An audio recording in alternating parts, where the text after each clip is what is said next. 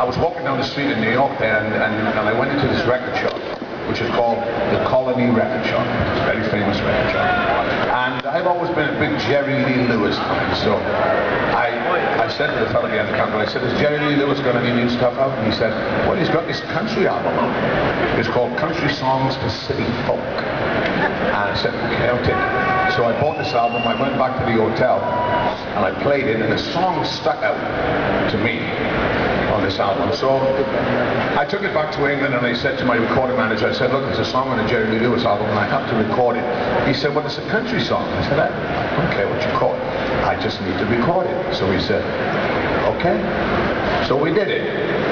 And it goes like this.